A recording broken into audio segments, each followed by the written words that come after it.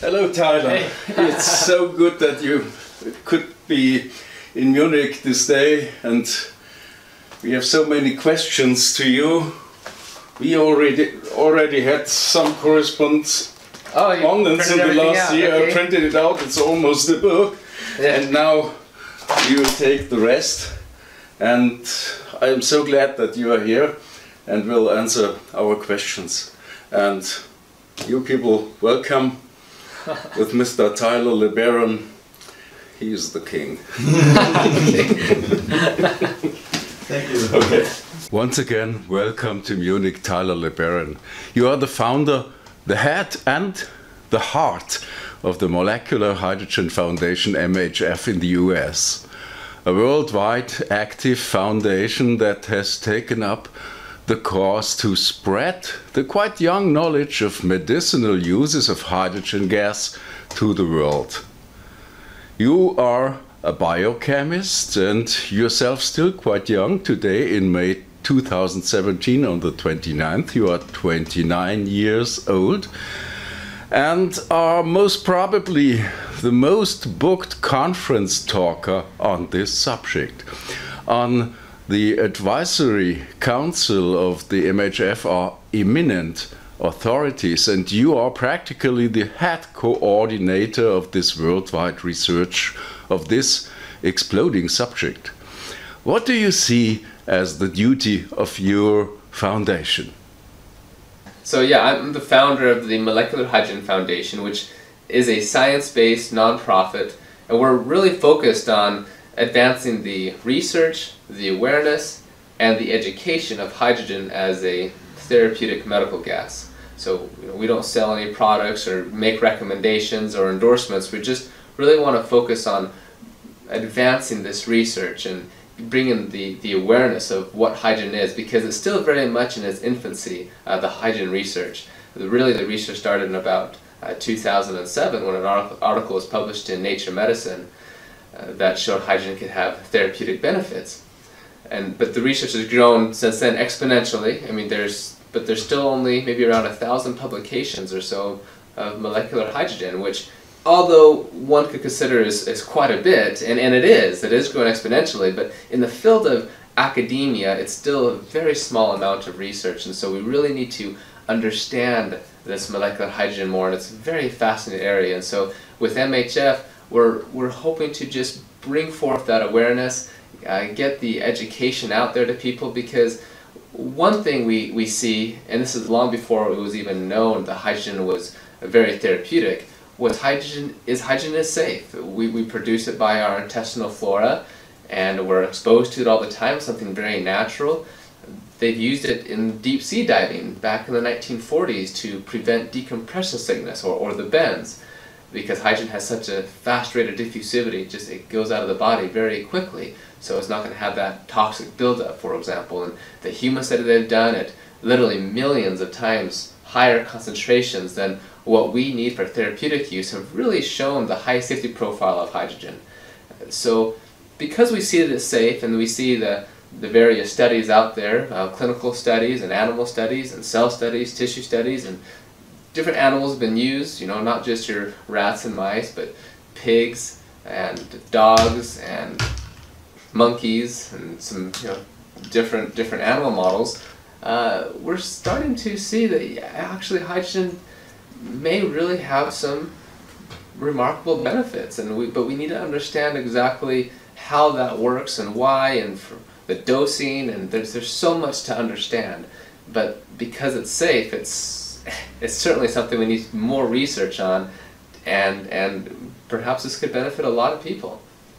With regard to the pedagogic duties of your foundation, maybe we should first put in order for some of our audience all the basic principles of hydrogen so that we not only know what we are talking about, but in front of everyone about what we are not talking about. A bit of chaos surrounds the different forms of hydrogen.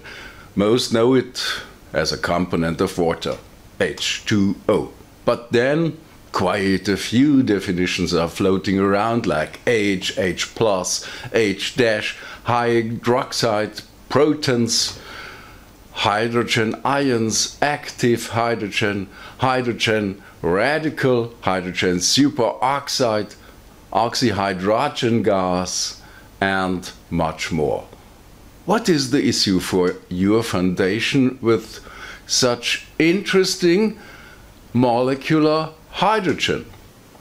Uh, one of the main questions I often get is, well, what, what is hydrogen in general? Like, water is H2O, so isn't that already hydrogen? Or if you add hydrogen to the water, well, isn't that like you're going to have H3O or H2O plus, which is the hydronium, which is acid, or so this acid water, or is it alkaline water because pH has potential hydrogen, the more hydrogen, the higher the pH, or you know all these things. So let me let me go through some of these things. But but first, let me explain what we're talking about with molecular hydrogen is simply hydrogen gas. That's what people want to use for the alternative energy source. It's simply two hydrogen atoms that are combined together to form a hydrogen molecule. So it's just two mean di, di means two, so it's diatomic hydrogen.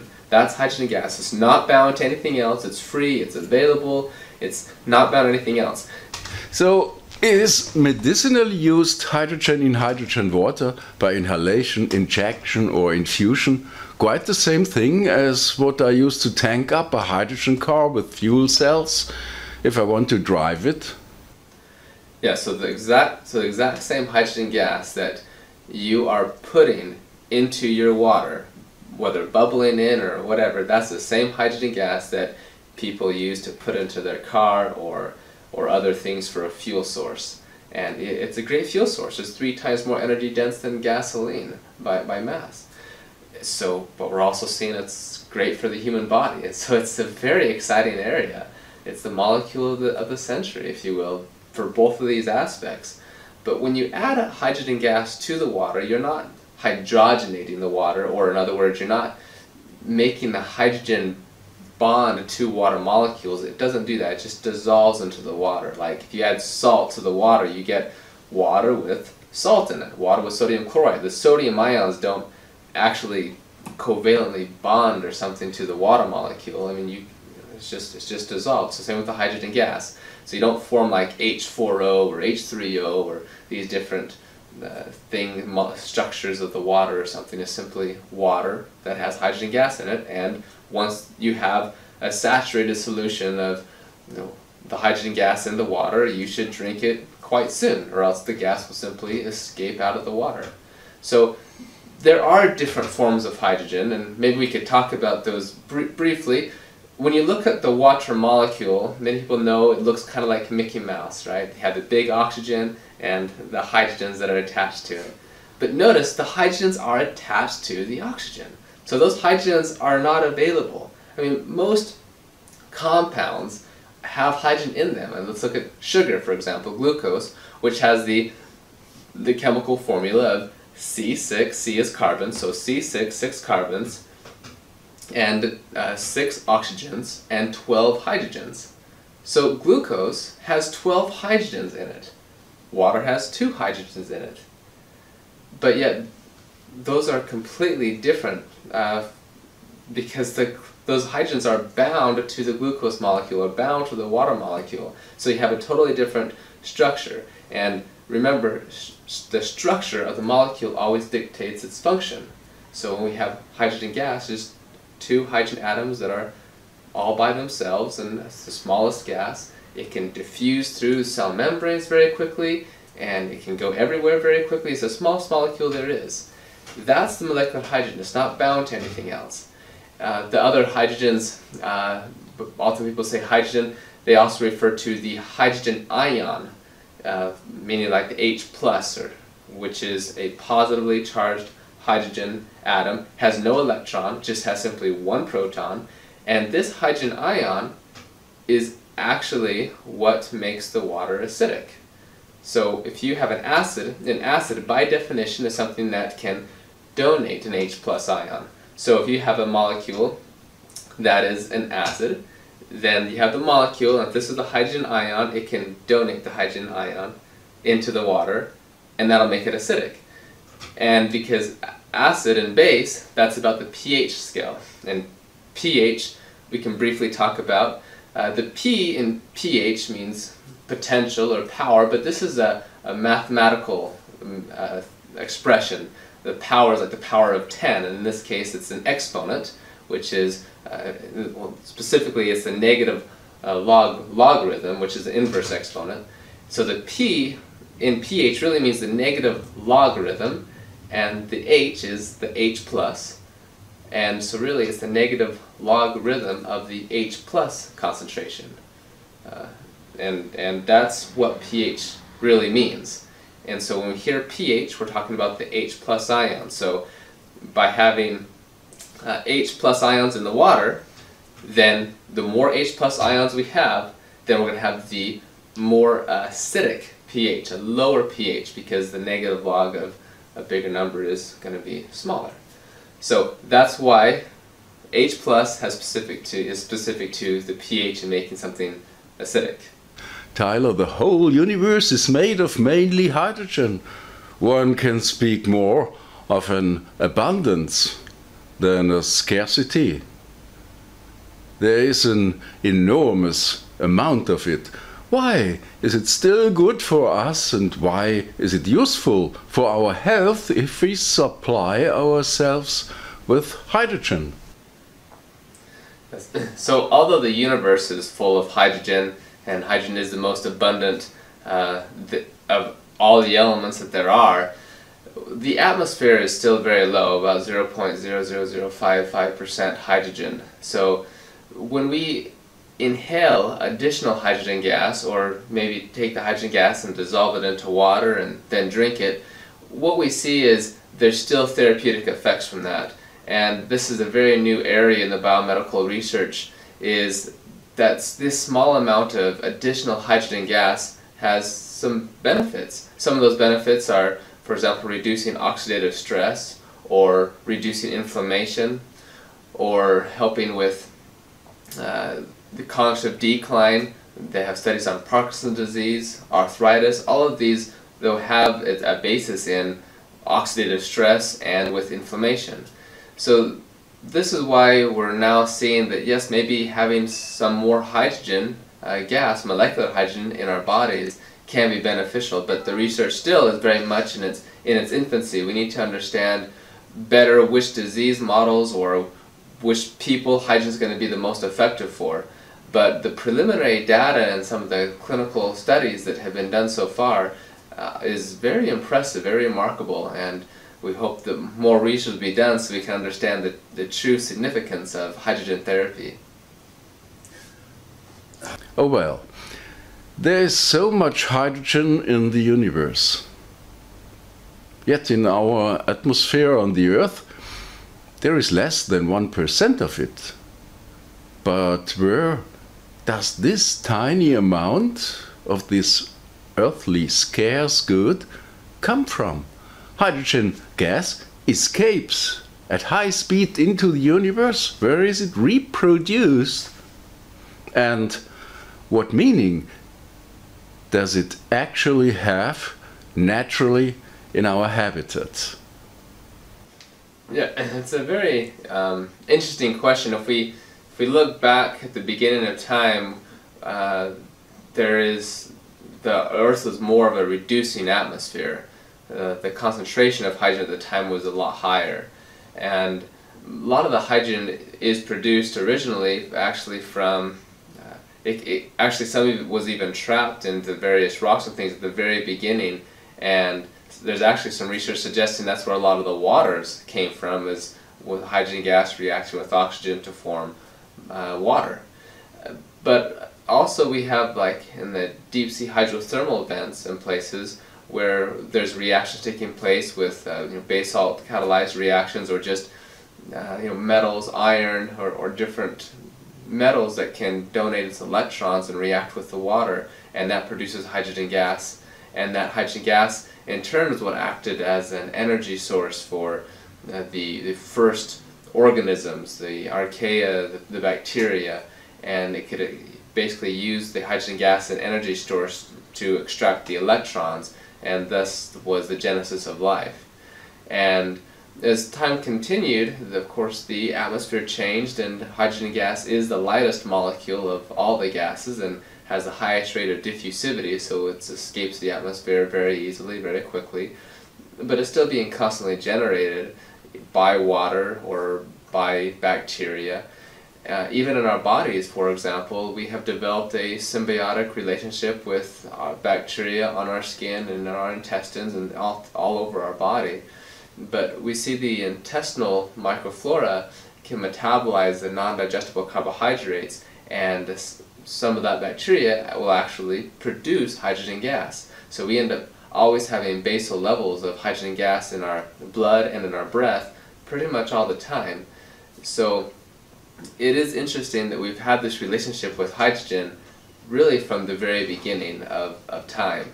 Um, hydrogen is really what was involved in even the evolution of your prokaryotes uh, to your eukaryotes um, with the hydrogenases, hydrogenosomes, and, and different things in the early days, we have that evolution taking place. Well, we allow our intestinal bacteria to produce hydrogen and we constantly breath it out. Why is it healthy to inhale it or to incorporate it into us by drinking it? Yeah, so often people do wonder why we have to ingest more hydrogen if we're already getting hydrogen from our bacteria in our intestines. And it is one of the enigmas, if you will, of uh, hydrogen therapy. The bacteria in our intestines can produce a substantial amount of molecular hydrogen, but what we see though in animal studies and human studies is by taking uh, small amounts more of molecular hydrogen, either where it's dissolved in water or simply through inhalation with a cannula or a gas mask, for example, still exerts therapeutic, protective health benefits.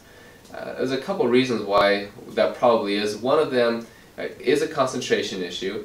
Um, even though we, we get some hydrogen gas from the bacteria and, and quite a bit of a, amount of it, we can still get fairly high concentrations by inhaling hydrogen gas when it goes into the bloodstream, gets circulated through, and we get to that uh, concentration to reach the, the, the, minimal effective dose, which we're still not quite sure what it is. Um, you know, it could be you know, 20 micro, micromolars, for example, um, in, at the cellular level.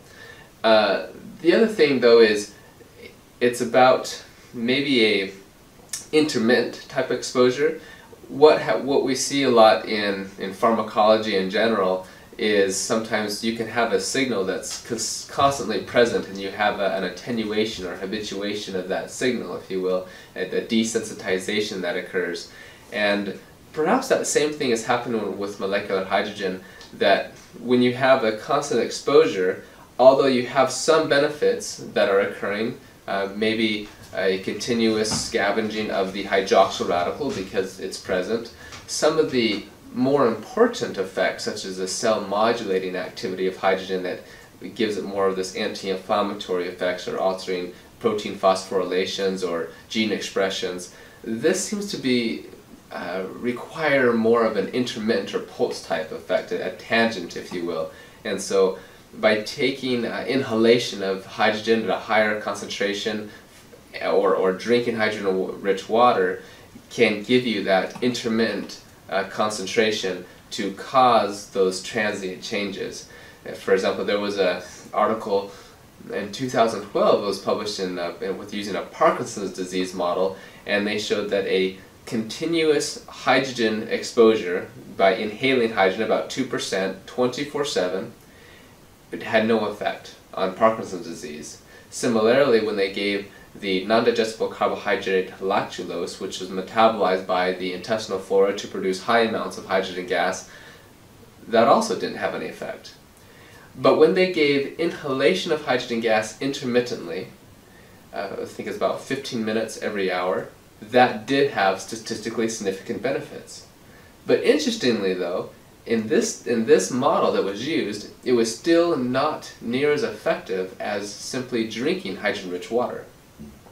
So what we learned from this is this intermittent type of exposure is very important. It goes back to what I was talking about the desensitization or the habituation of this, this signal that is important for the cell modulated activity of, of hydrogen gas, which is similar with all uh, gaseous or signaling molecules in general. Uh, the secondly is the route of administration may be different because when you alter pharmacokinetics, you alter pharmacodynamics. In other words, when we're taking something inhalation versus taking something orally, you, you are getting the, the hydrogen differently. When you drink it, you're going to go through the stomach and into the intestines and, and on to the blood. Versus when you inhale it, it goes directly to the, through the lungs and into the bloodstream. Well, there was an article published in, uh, in, in Nature, uh, World Nature Publishing Journal, but uh, out of Kyushu University, a Dr. Noda, uh, found that the drinking of hydrogen-rich water could actually enact a neuroprotective gastric ghrelin secretion. And ghrelin is very neuroprotective, it has some anti-inflammatory benefits and, and many others, but the drinking of hydrogen-rich water could in, in, induce that secretion of ghrelin. And you, maybe you don't get as much of that ghrelin levels when you inhale the gas. And so by di this different route of administration and by this intermittent exposure, we're starting to understand better why the different effects of hydrogen in, in different diseases. I would like to understand more about the solubility of hydrogen in water, about that which we can then drink as hydrogen water. With a salt crystal, one can see how water slowly dissolves it. It is divided into its two ions, sodium and chloride. Yet, hydrogen gas is not a salt. It is a non-polar element, so not soluble as a hydrogen bond, like a grain of salt. Is this not a different type of solubility? Somehow it seems to me that hydrogen doesn't feel so good in water, instead wants to rid itself from it, because basically it is hydrophobic. Yeah, it's a great, great question. Uh, that's number one question that I get is, what about the solubility of hydrogen? It's not even soluble in water, so how can you even have hydrogen-rich water in the first place? And if, even if you get any in there, it's just going to be out immediately because it's just not soluble. And solubility is a subjective term. I mean, everything is slightly soluble in water, even if you just get one atom that gets solvated by water or something, right? But the, the saturation of hydrogen at SATP, or standard ambient temperature and pressure, is considered to be about 0.8 millimolar, or about 1.6 ppm, which is equivalent to 1.6 milligrams per liter. So if you have one liter of water and you're at you're at 100% atmospheric conditions of hydrogen gas at sea level, then you could get about 1.6 milligrams of hydrogen in a liter of water. Now, first off, when you, someone hears, so, okay, so there's only 1.6 milligrams of hydrogen in that liter of water, that's not very much. Because uh, I take 100 milligrams of vitamin C. Well, what we're forgetting here is that uh, vitamin C weighs a lot more than hydrogen gas. Vitamin C is about 176 grams per mole. So if you have one mole, think of a mole like a dozen, right? Mole is a set number. So if you have, if you have uh, one mole of vitamin C molecules, that weighs about 176 grams. If you have a one mole of hydrogen gas molecules, it only weighs 2 grams. So the masses are very different. So actually if you look, if you compared the moles to moles, or molecules to molecules of hydrogen gas and vitamin C, you would actually see that there are actually more molecules of hydrogen in a liter of water, saturated with water, the 1.6 ppm, then there are molecules of vitamin C in by taking 100 milligrams of vitamin C. There are more molecules of hydrogen. So in this case, it actually is a sufficient dose. But more importantly than that is the fact that when we do the actual scientific studies in, in animals and in humans, we see that that concentration is effective. Even more so, we see that if we take 1.6 milligrams of water uh, orally uh, of, hydrogen, then that's going to be diluted by another 40 liters of water in our human body, and then you're going to be down to a very low concentration, say, you know, 10, 20 micromolar concentration. So we can do a cell study that uses that same concentration, and we still see an effect. So the concentration of hydrogen that gets into water can be enough. But we do have to drink the hydrogen-rich water as soon after it's prepared because it is a gas. It doesn't combine with the water. It's not highly soluble. It, it, is, it, it is very light. It wants to go right up to the atmosphere very quickly. And so uh, if you can consider it really like uh, carbonated beverages, if you have carbonated water, for example, that's CO2 gas that dissolves into the water. Well, if you leave it out forever, eventually it's going to go flat, and all CO2 is going to go out. Well, same with the hydrogen gas. You put the hydrogen gas in there, it'll eventually go out. It's not going to go out immediately. It's going to it's going to take some time. So maybe if you, if you drink it within a half an hour, you're going to get most of the hydrogen gas. Depending on the, the surface area and how much disturbance there is and the temperature and all these things in the water. Just if you have like a, a bottle of soda, if you're shaking it around, it's going to go flat a lot quicker.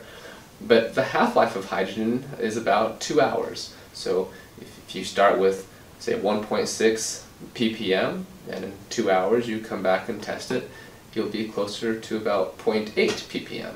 So if you drink it within a half an hour or so. So if that is only 1.6 milligram per liter, or rather 1.6 ppm, how can some people claim that they can produce water with a much higher hydrogen content? Yeah, another question I often get is because we say that 1.6 ppm is the saturation of hydrogen, so we can't get any more than that, how can you possibly have products that have a higher concentration, 2.6 ppm, 3 ppm, 5 ppm. How is this even possible? Is it possible? Is this just marketing hype? Well, sometimes it is just marketing hype and they have no idea what the concentration really is. They're just putting a number out there. But you can get higher than 1.6 ppm. The 1.6 ppm is, is simply the concentration at equilibrium at SATP, standard ambient temperature and pressure. So if you simply increase the uh, pressure, then you can go to a higher concentration.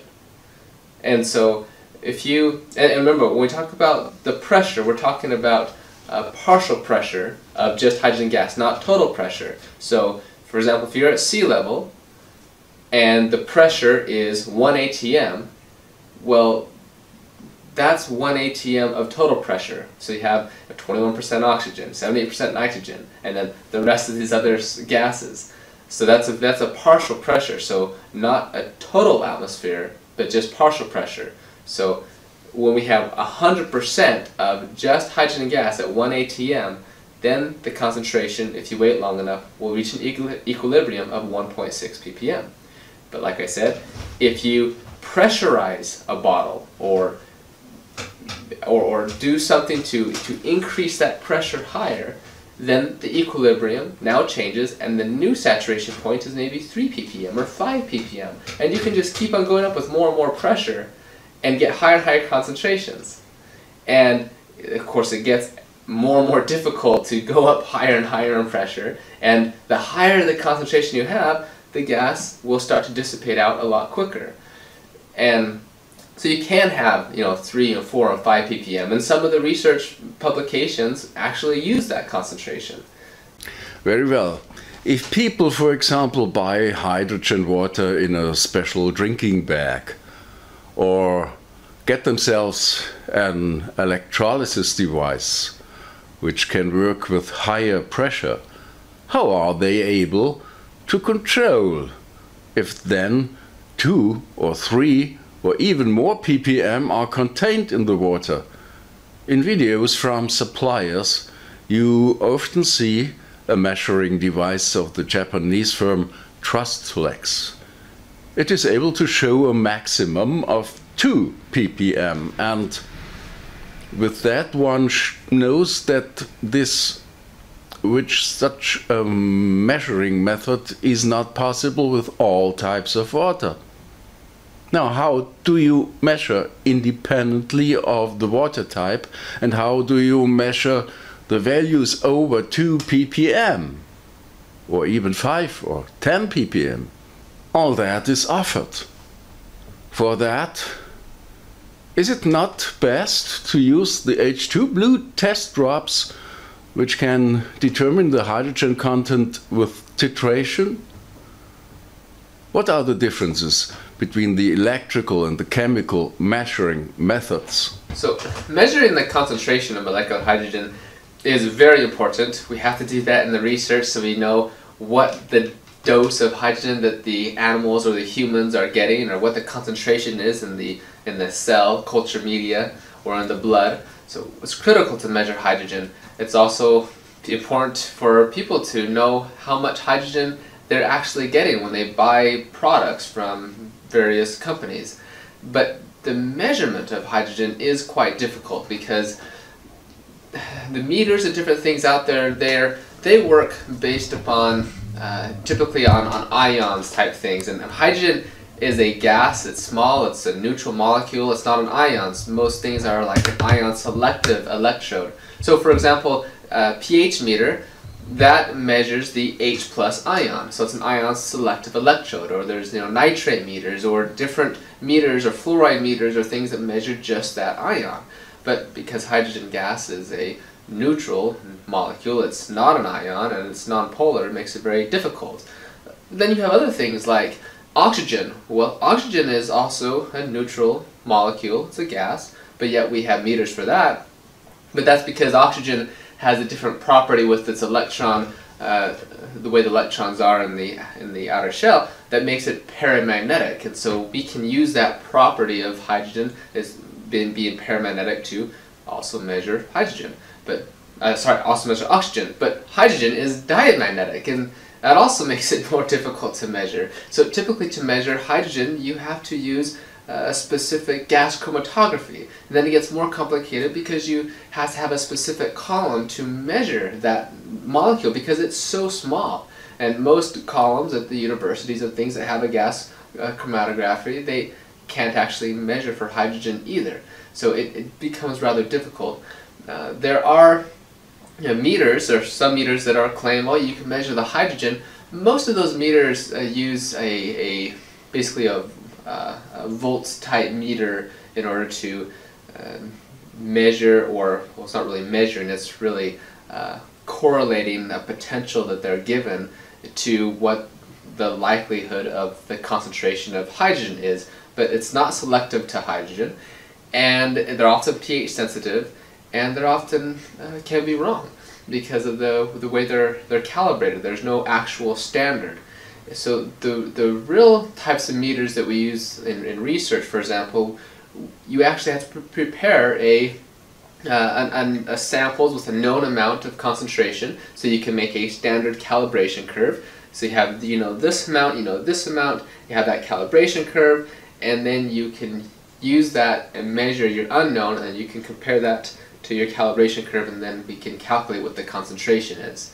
Uh, that's the standard way, it's a little more difficult and very expensive for most people to do. Then another method that's uh, very easy to use, it's not as, as accurate, uh, and it's not as precise in terms of being able to measure to very small concentrations like 0.001 ppm or something like if you're measuring in the, in the blood. But there is the uh, simple redox titration reagents that uh, use a methylene blue with a colloidal platinum as a catalyst that's able to make that make that reaction happen. But it's very simple. You just pour the water into six milliliters of uh, pour the hydrogen water into six the six milliliter six milliliters into the beaker, and then you add the reagent in there, and the hydrogen reacts with the reagent, and it converts the methylene blue from blue to clear. And you can add another drop, and the more you add, the more hydrogen molecules are used until all the hydrogen molecules are used up and and the reagent turns blue and it stays blue in this case and that is considered the titration endpoint and now you can simply calculate how what the concentration is because you know how many drops you added to the water. So that's probably the simplest or easiest method at this point for people to measure the concentration of hydrogen in, in the various products or to make sure that what they have is going to be therapeutic. Good. Now we know the most important things for measuring the control of dissolved hydrogen. Next, we should find out how much of the good stuff we should drink and also at which concentration. So, for example, is it better to drink more frequently during the day a lower concentration around 0.5 to 1 ppm and like that to gradually drink 2 to 3 liters a day or would it be better to just drink 1 liter a day with a higher concentration like 3 ppm another main question I'm often asked is okay how much hydrogen do I need to get this therapeutic effect? What is the concentration or the dose that I'm required? Well, we really don't know for sure what the minimal concentration is or what's going to be the most effective. We can really say what a suitable concentration is, and that's simply based upon the animal, and specifically the human studies, where we've used a certain concentration and it has shown therapeutic benefits. And typically that concentration is around uh, 1 to 1.6 ppm, even, even higher, even up to close to 5 ppm. But then you have to consider not just the concentration, but the dose of hydrogen that you're getting. Because you could drink 3 liters of 1 ppm, and that would give you 3 milligrams. Or you could drink uh, 1 liter of uh, 3 ppm. Now it also give you 3 milligrams, but the volume of water is different. So if you go through the human studies and you calculate, okay, they drank this much water, the concentration was this, typically the amount of hydrogen they're getting in, in milligrams per day is about 0.5 milligrams to 3 milligrams and even higher. That's the common range. Um, so getting around the 1, 1.6 milligrams a day, 3 milligrams a day, it's probably where you want to be. We are seeing that in some cases it's likely that a higher concentration can be more effective. In other cases, it seems to not have any additional benefit. But what we do see, it appears so far, at least from both cell studies and animal studies, that a higher concentration is not less effective than a lower concentration. And that's an important thing because because we already know the hydrogen is, is rather safe, we can take the higher concentration and and and feel good that at least we're getting enough that if something were to happen, we should be getting enough that it can happen. So that's kind of where things are at, but because the research is still very much in its infancy, there there are about 40 or so uh, clinical studies that are currently registered. Uh, 40 has already been done, uh, just human studies and things in general since this inception of hydrogen, but there's another 40 or so that are done. Some of those are just with inhalation, like in the hospitals and things, but many of them are with uh, the drinking of hydrogen-rich water. But we really need more human studies to understand the dosing protocols and you know if they're gonna if you're gonna get a total of three milligrams a day, should you take that three milligrams in the morning or at night? Should you take one milligram in the morning, one in the evening, or one at night? You know, what about if you have this disease, maybe we should do it this way, maybe we should do it this way. These are viable questions, and, and there is some suggestive reasonings about that doing one way or the other may have a different effect, because again, you're changing the pharmacokinetics, and when you do that, you change the pharmacodynamics, if you will and the, the, the, concentration that actually gets to the cellular level is going to be higher. Well, that is the field of therapy. There I can look up the disease in the individual studies and see which dose was successful. And it is important to note the following statement more hydrogen is not harmful. There are according to therapeutic goals, only low limits and no maximum limit. I don't need to be ill in order to be enthusiastic about drinking hydrogen water. It also tastes good. And maybe I just want to stay healthier for longer. Or drinking this water should support me in completing a fitness program. In short, wellness and fitness people, even competitive athletes, always ask me how much they should drink and what concentration they need. Does it help with muscle development? And the most pressing question seems to be can one lose weight by drinking this hydrogen water? Or actually not? After all, plants grow faster if you water them with this water. Even animal breeders discuss the use of it and apply it because there is proof that pigs or chicken gain weight faster from it. Producers advertise the most varied arguments and advertising statements of all that. What is correct and what is marketing drivel? Another question I'm often I often get is about the effects of hydrogen water on weight. We have some people who they drink hydrogen water and they're saying, "Hey, I'm able to gain weight finally." You have other people that drink hydrogen water and they say, "Hey, I'm able to lose weight finally." You have other people who drink hydrogen water and say, "My weight stays the same." So which is it? Is hydrogen water going to help you lose weight? Is it going to help you gain weight? Is it going to do nothing for you? Uh, or is it going to do whatever you want it to do? I, I don't know. Um, we need to have more human studies to understand this area better. Now, we can talk about uh, some data we have to suggest that it can maybe do one thing or a different thing. For example, there was a study in a Nature Publishing group in the Journal of Obesity that showed that hydrogen-rich water can, uh, it basically induces uh, FGF21, which is fibro fibroblast growth factor 21, which helps to stimulate energy metabolism, uh, specifically the, the expenditure of uh, fatty acids and different things.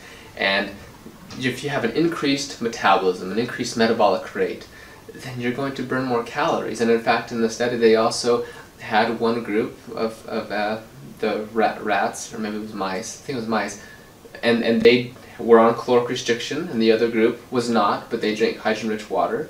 And, but they found that the drinking hydrogen-rich water had a similar effect as at about a 20% caloric restriction. It was on a high-fat diet. Now, then they also did a combined where they showed that hydrogen water and caloric restriction had a, an even greater effect. So this study suggests that actually, yes, hydrogen may be able to help with the weight loss because it's able to activate this FGF21 induce this energy expenditure, improve the metabolism. There are other studies on the hydrogen's effect on the mitochondria and many different aspects where yes, it starts to make sense. Okay, maybe hydrogen can help with this, this weight loss, this fat loss. Then on the other side, what about these people who say they can finally gain weight? Well, mm-hmm. there are some things to consider in that realm as well we talked about earlier how hydrogen-rich water can actually induce neuroprotective gastric ghrelin secretion. So ghrelin is, has some anti-inflammatory properties. It's a, it's a hormone. It's very beneficial. In fact, one of the reasons why fasting or intermittent fasting may be good for you is because you have higher levels of this ghrelin, and ghrelin mediates some of the benefits of fasting. And interestingly, like I said, hydrogen-rich water can also increase ghrelin levels. Well, ghrelin this hormone is actually the hormone that makes you feel hungry. And so for some people, maybe they're getting higher ghrelin levels and so they're eating more. And because they're eating more, they're finally able to gain more weight that they've been wanting to. But additionally, ghrelin, the hormone itself, uh, G-H-R-E-L-I-N, it stands for growth hormone releasing you know, hormone. That, that's what it is. And growth hormone, of course, is an anabolic hormone and it helps to build muscle mass, helps to uh, conserve muscle mass and, and different things, lots of benefits. So maybe hydrogen increases growth hormone a little bit by the ghrelin secretion, and then growth hormone in turn can help to build the more muscle. So for the athletes in different in different areas, uh, you're able to help gain weight. If you're eating more, maybe the growth hormone is going on, and then you have the other group where they don't really have any effect on their weight loss, and maybe that's because they didn't need any, or maybe they do want, but it's just it's not having that effect. Everybody's different, so maybe some people it won't have such a dramatic weight loss effect. It's been reported anecdotally, or even in some of the studies, or vice versa, with this other idea of gaining weight. Here, an interposed question from Mr. Yassin Akgün.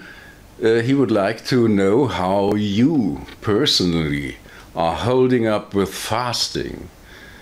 Do you recommend it? And if so, when? And for how long should one fast or rather adhere to meal breaks? Another thing that I'm asked about is fasting in general because I've talked about how hydrogen rich water can induce gastric ghrelin secretion and fasting also increases ghrelin levels and so they're mediated by this same second messenger molecule ghrelin, some of those benefits. So do, do I fast? Is fasting good for you? Is it uh, good to do it in conjunction with hydrogen?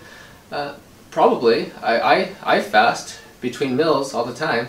Uh, but the, fasting is, is certainly good, good for you. We, we see studies in animals. We do need to see some more studies in humans to see the, the real benefits of the intermittent fasting and different things that are going on. We caloric restriction in general is a good thing, especially if people are suffering from you know, obesity or different things. The caloric restriction can be very beneficial. We see you know different changes in in, in, in the in many different hormones and molecules and insulin and IGF-1 and different things that can be beneficial in helping DNA repair. Uh, can hydrogen potentiate the actions of fasting? It, I wouldn't doubt it. We see hydrogen can induce gastric ghrelin secretion, it can induce FGF21, it can stimulate other DNA repair mechanisms, which also fasting does. In fact, hydrogen seems to activate some of the same metabolic pathways and transcription factors and things that fasting does. So maybe there would be an additive or synergistic effect or or maybe the fasting's effect would be so great that you wouldn't see any of the effects of hydrogen. We, we, just, we just don't know. We do see one of the studies that there was an, at least an additive, potentially synergistic effect with the caloric restriction and the drinking of hydrogen-rich water, so it's probably a good idea. Uh, but then we have the questions, okay, so when do we take the hydrogen? So we take it with the meal? Should we take it while we're fasted? You know, what's the best way? Uh, again, we, we really don't know. Maybe it's best to take it with the meal because on this hand, if you take it with the meal, then it's going to help the body with the metabolism or something, and uh, it's going to be able to, some, some of the hydrogen has been shown to actually be stored a little bit in the glycogen in the liver, and as the glycogen is burnt and the more the hydrogen that gets accumulated in there uh, releases out, and so it just stays in the body for a little bit longer, and so maybe that's a good way. Uh, but then maybe it's better to take it more on an empty stomach because that way the, the body's fresh, the hydrogen is able to just go right into the body and there's no other uh, molecules and foodstuffs that's in the body that's, that's changing things or something. Uh, so maybe it's better to do more on a fasted. So I, I don't know, but for me, I, I guess I prefer to take my hydrogen uh, in the morning uh, before I eat or at just different times than with the meal. Uh, just because I, I typically don't drink a lot of water with my meals anyways. Uh, but drinking hydrogen-rich water with the meal or fast state, we really don't know what's going to be the most effective, if there is an effective way. But uh, it's possible that taking in a fasted state, due to this one study and some other mechanisms of action, could make it a little bit more effective. And when to eat then best, or when to fast? Yeah, and then people are also asking me, okay, so when should I eat? When should I fast? Well, uh, really, there's there's a lot of research, and it's equivocal. It's uh, some of it's you know rather contradictory. You don't know which one it is, and I'm not an expert in the fasting field, uh, even though I I fast, like I said, between meals, but you know, what, there is an article I remember reading a, a, bit ago where they found that they had two groups, both on caloric restriction, and but one of them ate like 70% of the calories in the morning, maybe 20% at lunch, and 10% at dinner, and the other group just the opposite, with 10% in the, in the morning, 20% at lunch, and 70% at dinner. And at the end of the study, they found that they both lost the same amount of weight. But what's interesting about the study was that the group that had the larger dinner primarily lost fat, whereas the other group lost a lot more muscle. And some of the reasonings that was suggested from this, this smaller uh, human study was that maybe when we sleep, that's a time where the body repairs itself, you have increases in growth hormone, we need to have enzymes, the body has to build enzymes, which uses the building block of amino acids to make those proteins. So if you have no substrate or no food in your blood or in your stomach or something, then the, the body's got to get those amino acids from somewhere so it can break down the muscles to get those amino acids to make the proteins and the enzymes that it needs so it can do its repair mechanisms and things. So maybe going to bed in a fast state is not the best idea. And in the morning, you're already really busy anyway. So even from a psychological perspective, for those who are trying to lose weight and do a caloric restriction, it, makes sense to me that uh, eating a small or even skipping breakfast could be the easiest thing because you're already so busy trying to rush out the door and get to work and different things. And then lunch is just you know small and mild, and then in the evening you you have a good, nutritious, healthy meal. And that's also a very social time where you're with your family, you're with friends, and you can go ahead and eat the majority of your calories at that time, and then you go to sleep. And you're fasting, if you will, until the next time, but you're not starved. You have actually substrate for your body to work work off of. Uh, again, more research needs to be done on this, on the ideas of fasting intermittent fasting, what's going to work the best, and all these different things. It is a very interesting area, and it does have some carryover to this hydrogen therapy. Mr. Akun has a very interesting follow-up question, which is to be expected of a water that is saturated with the energy-rich hydrogen gas. And uh, so far as I know, it has so far not been answered. The hydrogen in water, which signifies an excess of electrons, which can be measured as a negative ORP. Could it be a type of nourishment in the end? And due to that, could one renounce the usual ways of staving off hunger with the usual calorie-rich foods? So, uh, with with the fasting and the hydrogen, also people say, hey, when I drink hydrogen water, you know, I just I feel so much more energy. Like it's a it's a, a food to me, where I just yeah have this energy and I don't have to eat anymore. Well, potentially, maybe that's placebo effect. Uh, we do see hydrogen can help increase and stimulate the mitochondria, it stimulates energy expenditure, so maybe there's there's more ATP equivalents or different energy there that's available for use and helping to lower inflammation or oxidative stress, and so you just feel more alert and more clear.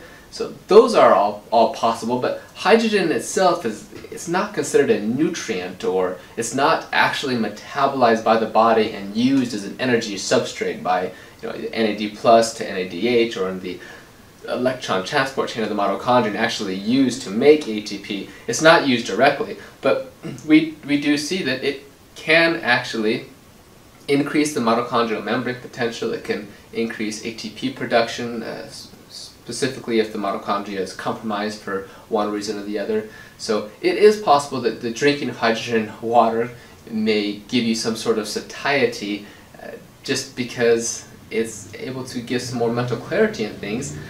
But it could also be just because you're drinking water, and water induces gastric distension, uh, making your stomach feel full, and gastric distension is one of the most potent signals for satiety. And so simply drinking more water can help you not feel hungry as well. I guess one has to have patience until science, in the light of new possibilities, which offers energy rich hydrogen water, the term nourishment can maybe one day be redefined.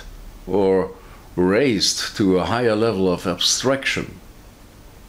Until now, water counts as a foodstuff. In fact, the most important, yet not as a food, because it is seen as calorie free. The last word has not been spoken on this matter. Obviously, one wants to assume that released electrons could mean something like an energy transfer. On the other hand, does molecular hydrogen only give off its electrons under adverse circumstances, namely when it encounters the very aggressive hydroxyl radical? This can maybe not be understood or seen as triggered energy metabolism from food. Or can it? This difficult question, which delves into the fundamental and philosophical nourishment definition, cannot currently be finally answered. Instead, let's shed some light onto what we already know about hydrogen water which we take in by, for example, drinking. How long does it take until the gas reaches individual organs and its effect can unfold? Another question I'm often uh, given is what about the pharmacokinetics of hydrogen? In other words, when I take my, my hydrogen water, how long does it take for the hydrogen to actually get inside of my body and how long does it stay there for?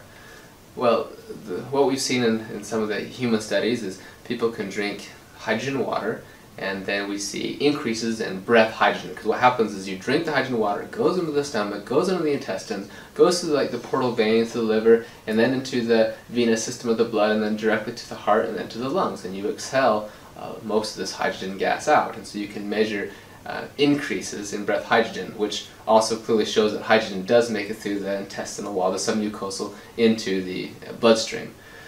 And typically, depending on the dose of hydrogen you're getting, you reach the peak level within you know, 5 to 15 minutes or so. So it goes through quite quickly.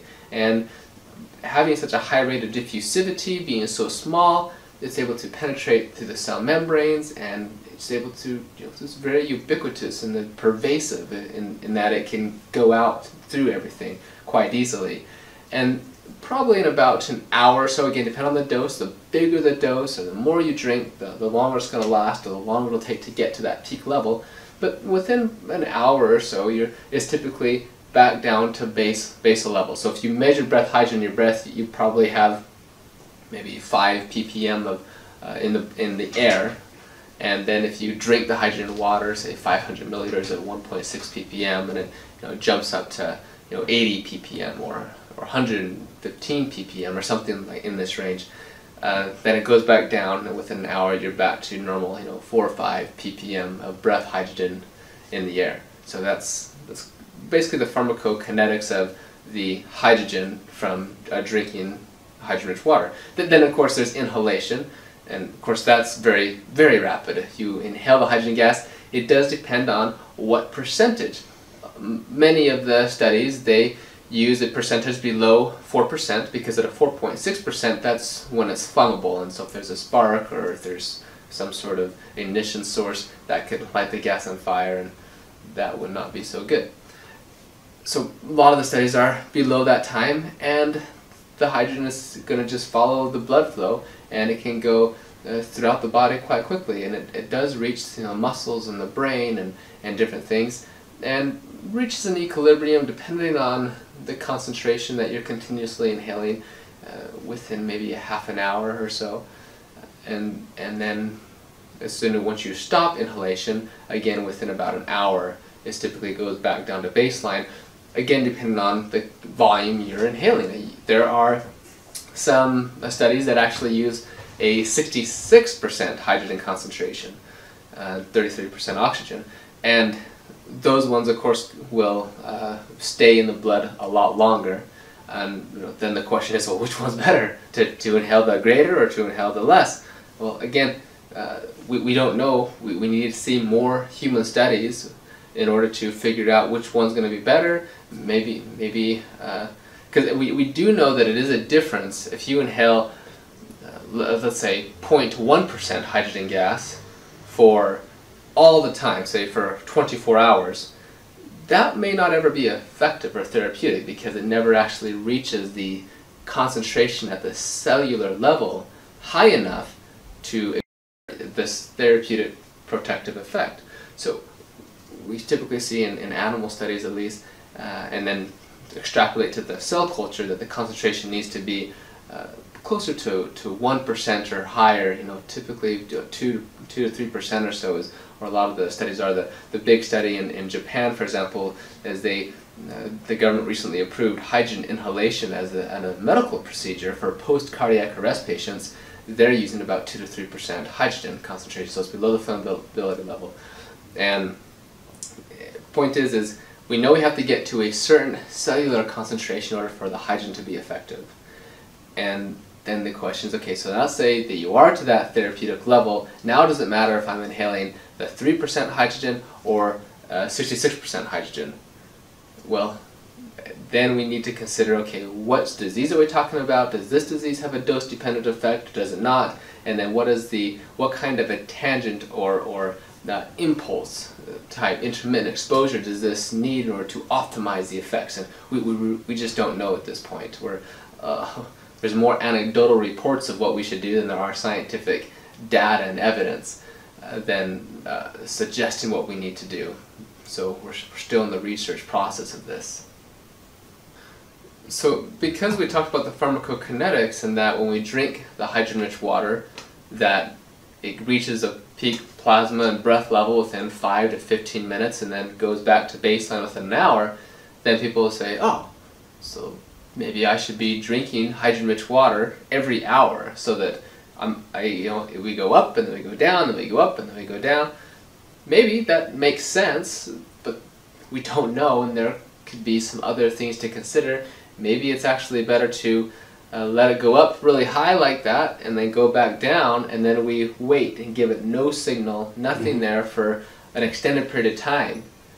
And, and then we we hit the cell again with a higher concentration mm-hmm. after after the because you have you know uh, uh, metabotropic effect you know the changes in gene expression different things. All these take take time to change back to how it was or to make the changes. And so we don't know if it's best to just drink it on the hour or maybe just have it once a day or have it three times a day. And, and then again like we said should we have it with the food or without the food? How does that all make uh, we, we just we don't know. What we're seeing in the animal and human studies is the drinking of hydrogen-rich water is, is effective and there's probably not necessarily a wrong way to do it, but there probably is a better way to do it. We just don't know what that better way is at this point.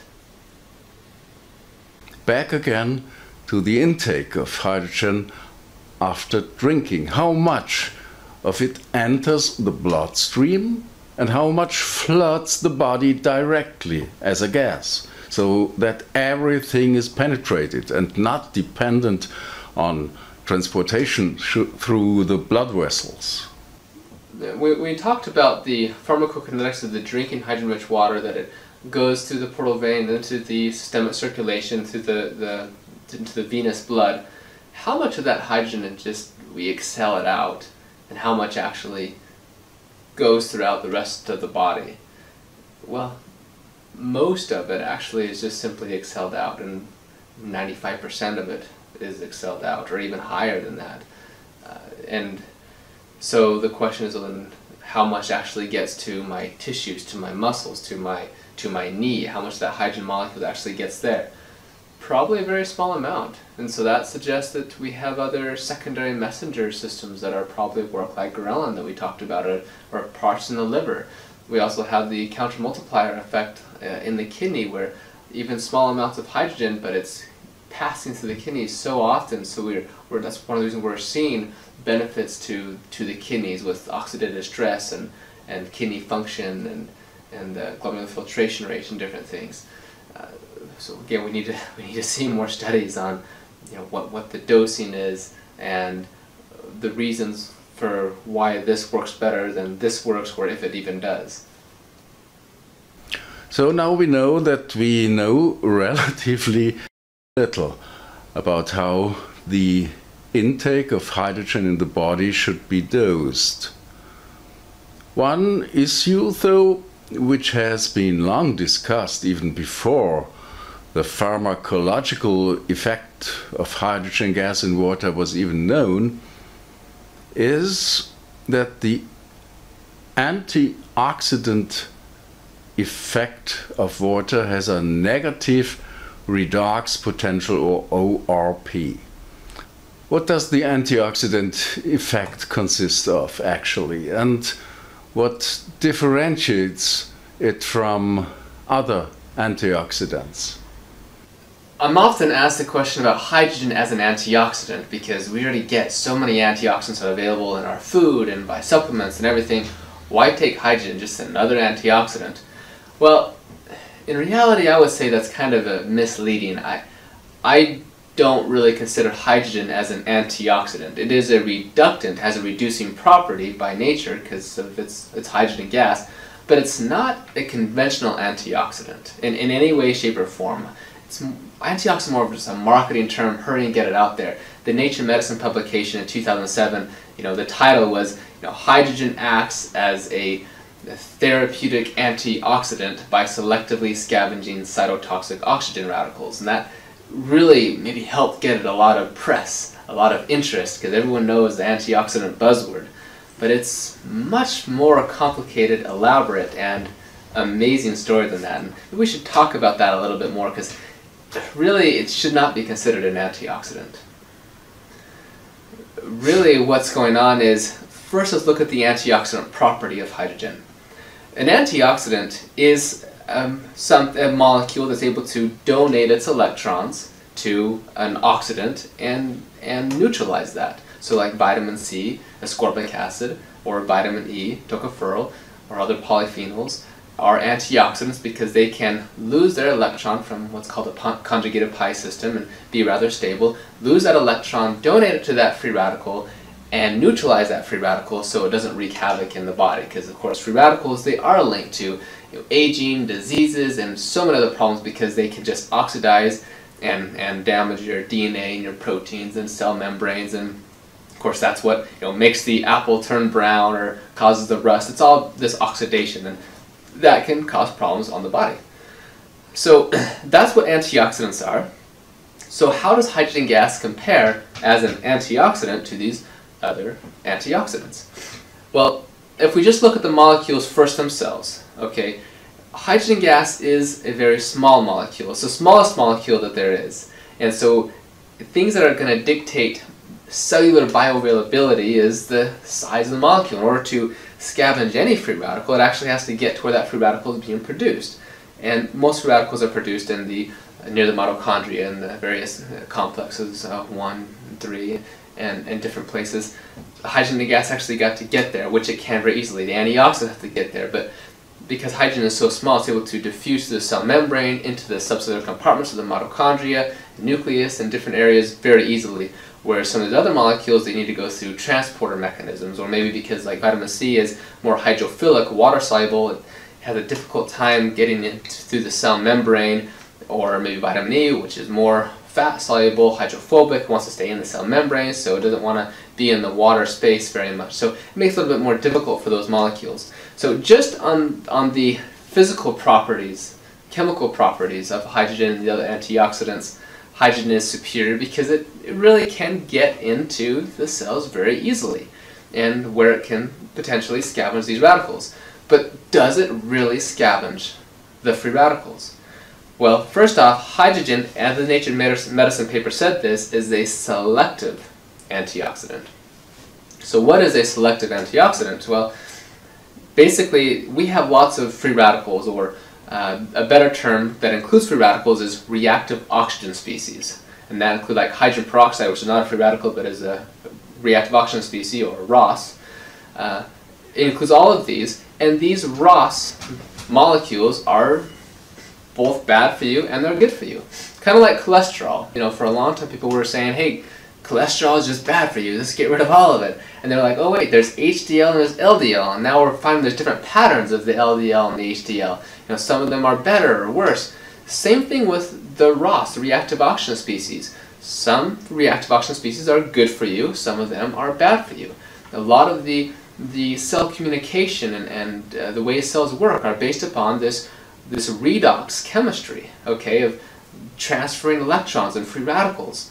In, in fact, uh, the vasodilation or widening the blood vessels causes, is, is caused by a free radical known as nitric oxide, which many of you are familiar with. Nitric oxide is a free radical.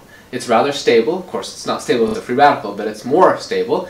Eh, but it's produced at a specific location, and it reacts with its target, um, and, and it causes all of the benefits that nitric oxide does. And of course, if that rad radical nitric oxide gets too high, then it wreaks a lot of havoc, causing nitroxidative damage, reacts with superoxide radicals to form peroxynitrite, and peroxynitrite uh, is an oxidant that's very damaging, very, very harmful for you.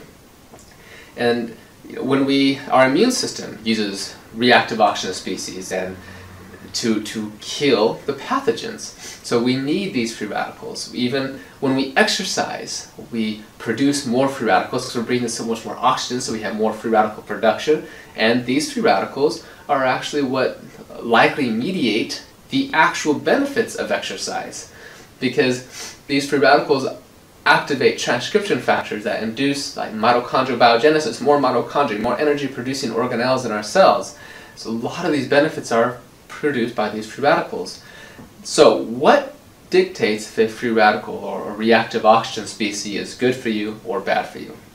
Well, the main thing that dictates that is the reactivity of that free radical. So like I said, nitric oxide is a free radical, but it's not as reactive as, say, another radical, such as the hydroxyl radical, which is just OH neutral, has a lone pair electron. It's very reactive, very cytotoxic or cell damaging.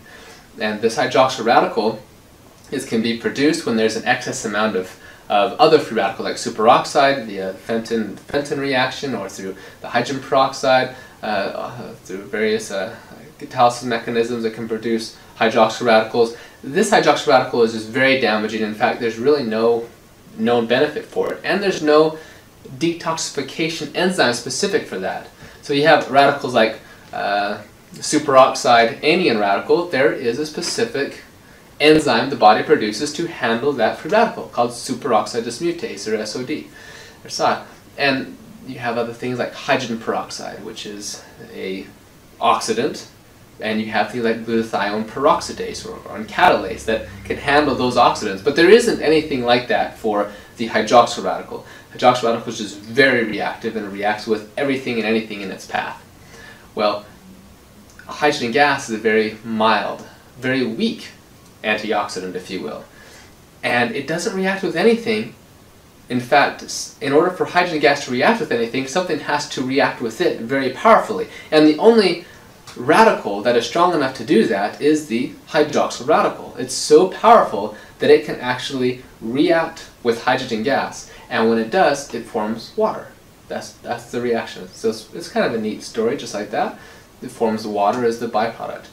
So hydrogen gas will not, indeed it cannot, react and scavenge all the other radicals and reactive oxygen species, many of which may be very beneficial for our body that we don't want to scavenge.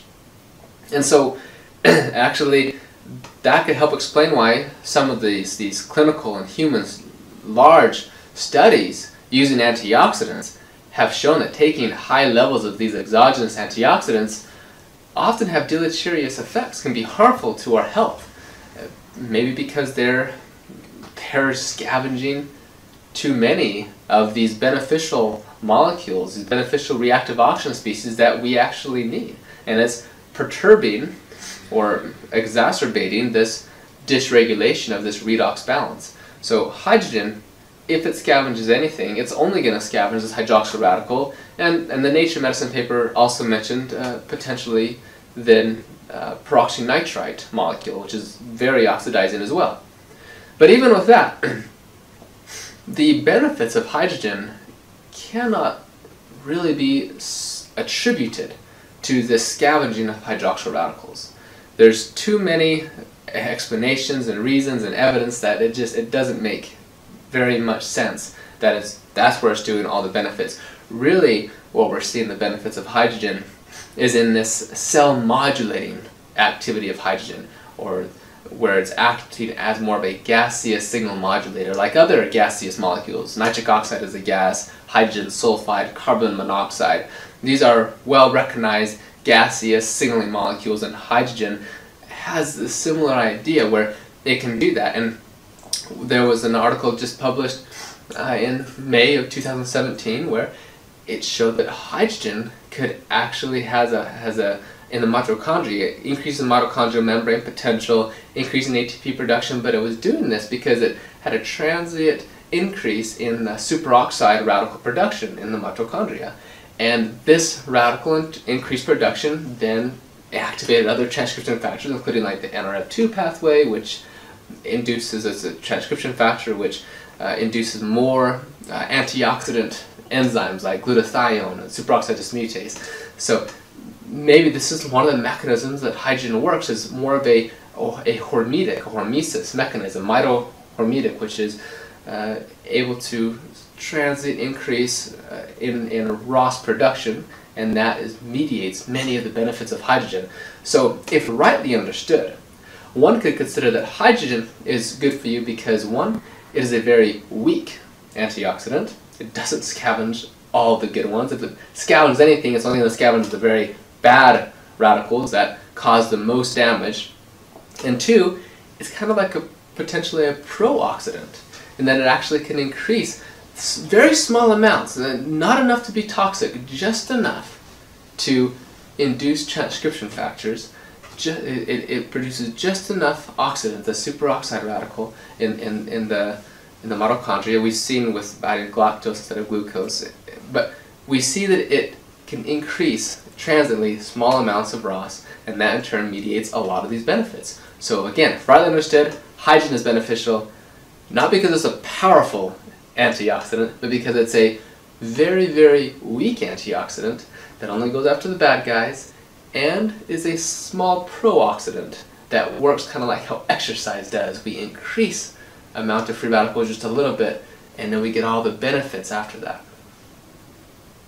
The presence of dissolved hydrogen gas causes a low negative redox potential, which can be measured as ORP. But what is surprising for many people, a low and negative ORP does not yet mean that a lot of hydrogen is dissolved in water.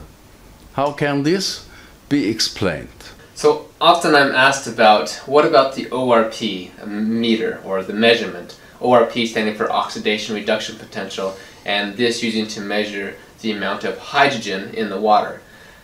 Well, it, it doesn't really work that way. It's not specific to hydrogen and it's not a very accurate method for measuring hydrogen because it's not specific to hydrogen.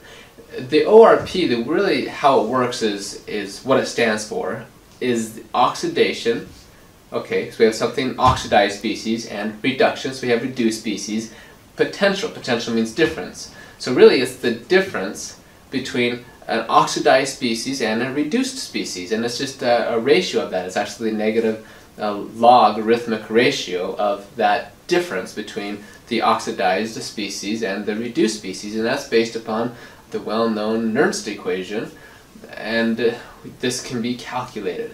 And that's really how it's working with when you add anything to water. So when you have a solution and you measure the ORP of that water it's going to give you a number. And it could be a positive millivolt number or a negative millivolt number.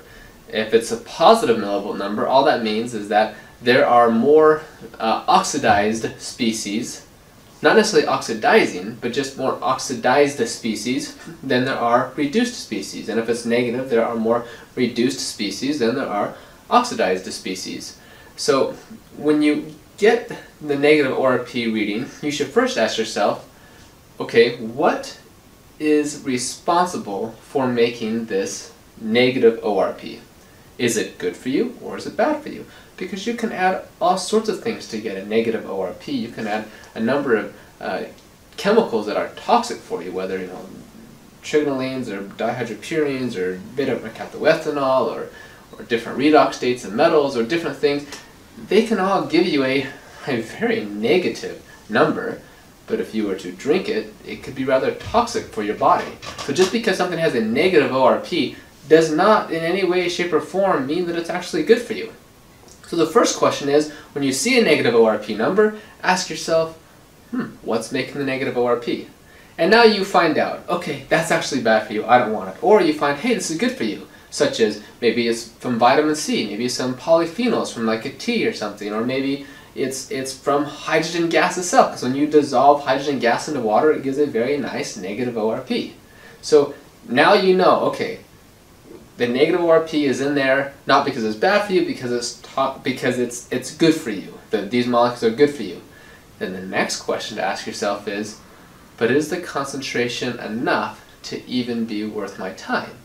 Because again, the ORP is not it, it's not measuring a concentration, it's, it's a negative logarithm uh, of the ratio of that difference.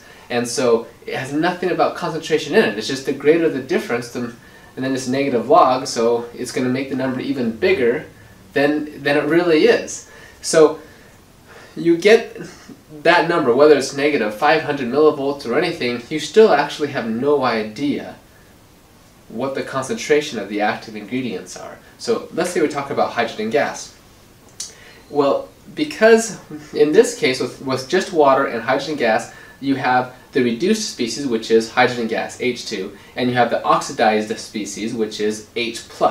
And you know, include oxygen and some other, you know, maybe some chlorine in there if it gets in there.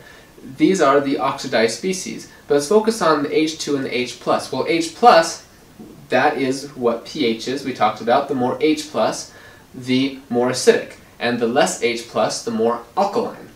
And if it's H2 divided by H+, plus, well, if we have alkaline water, we have very little H plus ions, so therefore a numerator divided by a, a smaller denominator is going to give a larger quotient, and the negative log of that quotient is going to give a more negative number.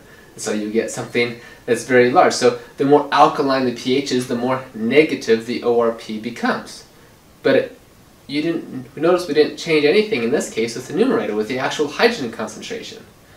So theoretically, if everything worked out perfectly, then based on the Nernst equation, we could okay, calculate what the pH is, get the H plus concentration, and then you know do the inverse exponent, and you know, and, and we could figure out the concentration of hydrogen is. But it doesn't work that way. I've tried it. It just you have totally different concentrations, and the reason why is because this ORP meter again is not specific to just hydrogen.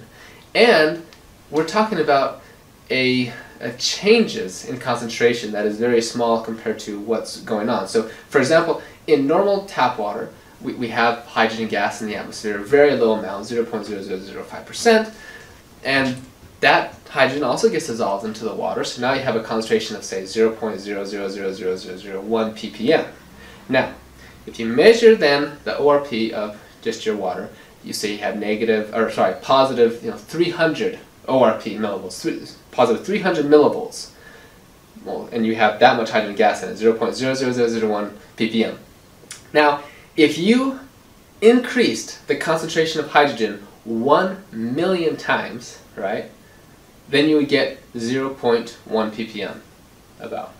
0.1 ppm. You increased the concentration a million times. So because it's logarithmic and the ratio and everything, you're going to see that ORP reading is going to go from, say, positive 300 to negative 500 because you change that a million times. Now let's say you're going to go from 0.1 to 1 ppm. So you change it 10 times. If you change it just 10 times, you're not really going to see much of a change at all in the ORP. It's still going to be around negative 500 millivolts. So we just don't see very much change at all with increasing the concentration of hydrogen. And that is why, and I've done this many times, you can do it as well, you can actually say, have two glasses of water, one of them, both of them have an ORP of say negative 500 millivolts, but one of them has a hydrogen concentration of 1 ppm, which can be therapeutic. The other concentration is, say, 0.1 ppm, which may or may not be therapeutic. But the ORP is the same. You could actually have it where one is 1 ppm, the other is 0.1 ppm, but the one with 0.1 ppm has an ORP of negative 800 millivolts. Why? Because the one with 1 ppm is a neutral pH, the one with 0.1 ppm could be a pH of 10. And all of a sudden that will show a much higher concentration because again, pH is also logarithmic. So if you go from a pH 7 to a pH of 10, that's 7, 8, 9, 10, that's 10, 100, 1,000 times less H plus ions. So you have a thousand times less, smaller of a number on the denominator, and now the numerators they stay the same, but uh, all these things make the changes so it's reflected exponentially because it is an exponential problem, a logarithm, in that changes. So you cannot use the ORP meter to see which concentration is higher. Now, there can be some benefits of using an ORP meter. Um, in general, fresh fruit and different things, fresh juices should often have a negative ORP reading. And so you could say, hey, if it's fresh, have a negative ORP reading. That's fine.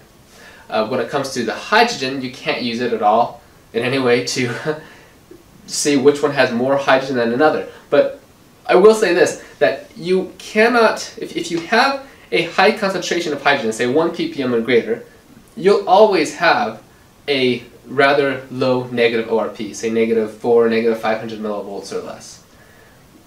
so if you have a negative 4, negative 500 millivolts, you know that you have a concentration of hydrogen that's maybe, you know, could be 0.05 ppm to you know, 10 ppm. It, it could be all those numbers. But if you have an ORP of say negative 10 or positive 100, then you know there is no hydrogen in that glass of water. So really, if it has a negative ORP, there's hydrogen, you just have no idea how much. Sorry, if you have a negative ORP and you know that the chemical species in the, in the water is hydrogen, then you know that there's hydrogen in there. You just don't know how much there is in there. So you have to measure that and you can use, like I mentioned earlier, the redox titration reagent. So that's very important to remember. Uh, the only benefit is if you use the ORP meter, you measure the water that claims to be hydrogen and you're only getting you know, negative 50 or a positive number, you don't even need to worry about measuring the hydrogen because there isn't going to be any suitable concentration. Some do believe that they do not have to laboriously measure if hydrogen is dissolved in water. They then show, for example, how the water flows out of a water ionizer, all milky, and say then that the hydrogen can be C after all, or they hold a lighter to the water outlet of the device and there are small explosions. Or if you look at one of these small hydrogen boosters with a PEM cell, there you can see how more or less bubbles move through the water and appear to dissolve. Then, on the other hand, there are people that say it depends on the size of the bubbles that they dissolve in water. What exactly happens there when hydrogen dissolves in water? And can the hydrogen be seen? Often I'm, I get a question about the hydrogen gas dissolved in the water because you know, with many, some of these products out there, when they make their hydrogen water, they see just tons of gases bubbles in there. It's just it's milky white, it's foggy, you see all these gas bubbles. Uh, does that mean the hydrogen, you know, what, what does that mean? Does that mean that there's so much hydrogen in there that it's super saturated and the gas just coming out? Or what, what's going on? Is, is this a good sign? Well, if you see the gas bubbles in there, you know that hydrogen is being produced. But if you see the bubbles, those bubbles you see is the gas that is not dissolved and really is not going to offer you any benefit because it's not in the water. It's just it, when you see bubbles, micro bubbles, they, they go through two things. Either gonna a they're gonna go in, they're gonna continue shrinking, shrinking until and the gas molecules go into the water until it dissolves, or they'll coalesce together and get larger and then evaporate out of the water. So those are the two options when you see that. So when you see the, those big macro bubbles in the water, well, it, it's not dissolved in the water, so has, you don't know what the concentration is. And in fact, I've seen you can make water that is so foggy it looks just like milk. And then when you go to measure the concentration, assuming that's going to be really high, you can't even measure 0.1 ppm. So just because something is, has tons of bubbles and it's milky and it's foggy and everything does not mean that the hydrogen has actually been dissolved in water. It just means that there's lots of bubbles there. So you actually still have to measure the concentration of hydrogen because it is the unseen bubbles, if you will, that matter, not this, not the ones that are seen.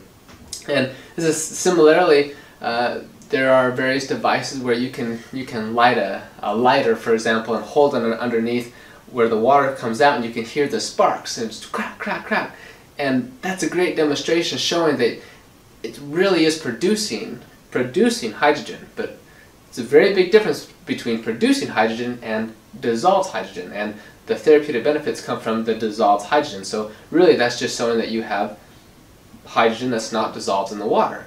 Now you may have hydrogen that's also dissolved in the water, but again you'll have to test that.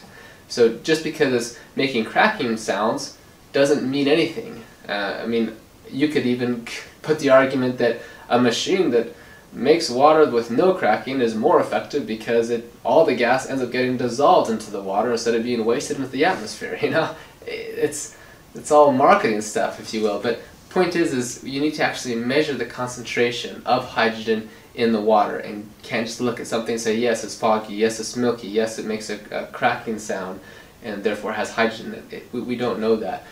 The gas dissolution takes time. We, in our body, for example, we dissolve carbon dioxide in, in our blood very quickly, and it has to get, get out of the blood, we exhale it, and it has to happen very rapidly.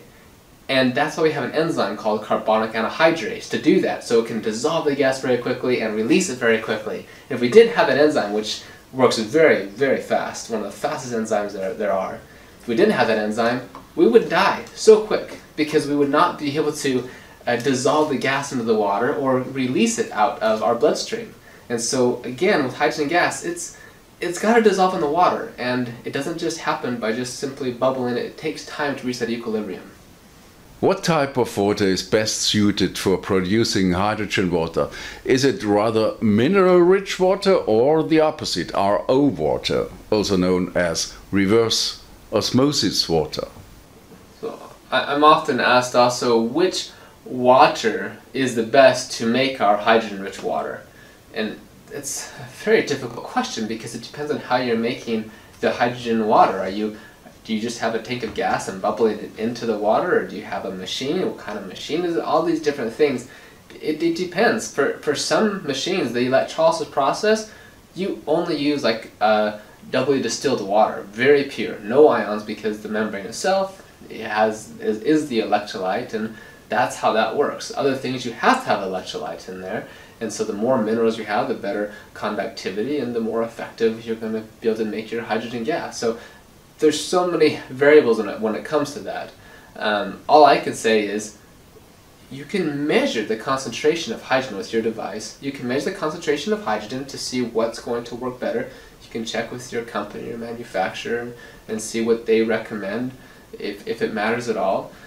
And then if you just look at water quality in general, uh, I, I, drinking water with minerals in it is has is is good for you. The minerals are very bioavailable. It's one of the best ways to get minerals, and there's been very large epidemiological studies showing that water that contains minerals in them is is good for your health. It's a great way to get minerals from from your source water uh, for your dietary needs.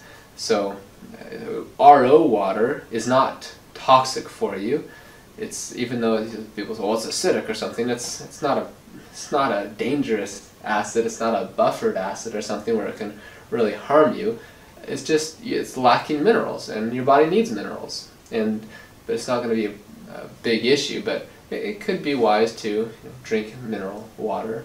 Um, I think there's sufficient evidence to suggest that drinking water rich in minerals is a good option for you, but certainly not required for life. Mm -hmm. I would like to have a couple of technical questions explained about the different electrolysis devices which can be used to produce hydrogen water. One is the most interesting. There are the new PEM cells and the multiple cells of water ionizers that have been longer on the market. Can you explain the difference? So when it comes to the field of electrolysis to make uh, hydrogen for medical or therapeutic use, there are a number of ways to do it. You, you have your, your conventional uh, electrolysis chambers that have no membranes, that just have an anode and a cathode. Hydrogen produces the cath cathode in, in electrolysis, and, and oxygen and often chlorine produces the anode, and the water's all mixed together, and, and there you have it. And then there's units that have a special membrane between it that acts like the salt bridge and it prevents the mi mixing of the cathodic water from the anolyte water and that's how uh, water ionizers that make alkaline and acidic water, that's how they work is they have that membrane and it separates the two. And then there's other membranes that use a PEM or a proton exchange membrane that allows only the protons uh, the H plus ions to migrate in between, and when and, and then those protons uh, get to the cathode and produce hydrogen gas. So then there's different ways to assemble these types of chambers into a hydrogen water product. For example, with this use of the SPE or solid uh, polymer electrolyte using this PEM membrane style, you could make the pure hydrogen gas, and then it's just pure hydrogen gas that's made at the cathode, and then that hydrogen gas is then infused into the bulk drinking water and should go through some sort of dissolver dissolving mixture of some sort so it actually gets into the into the water. So those are the two methods of electrolysis that's being used to uh, make hydrogen gas. Which one is better? Well, it depends on how good the design. The best design of another is always going to be better than the worst design of the other, right? So again, you can simply measure the concentration, and, and then there's other things to look at. Are you going to have calcification and scale issues with this? Do you have to use this special water or, or not? Or do you do you run the risk of having you know electrode degradation? You have to have the purest electrodes, or are you going to have um, you know metal metal the metal particles that get into the water could be harmful for you. you know, those there's so many questions to consider when looking at all of these things, and it is just it's still a new field of, of work that's being developed right now.